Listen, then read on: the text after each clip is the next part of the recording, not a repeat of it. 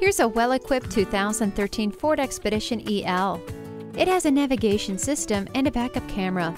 It also features a multi-function steering wheel, MyKey system, and a V8 engine. Add to that dual zone climate control, privacy glass, and third row seat, and you have an attractive Ford looking for a new home. We'd love to have you take it for a test drive. Anderson Ford Lincoln Kia. Because people matter, we will serve your needs by always doing what is right. We are conveniently located at 120 North Diers Avenue in Grand Island, Nebraska.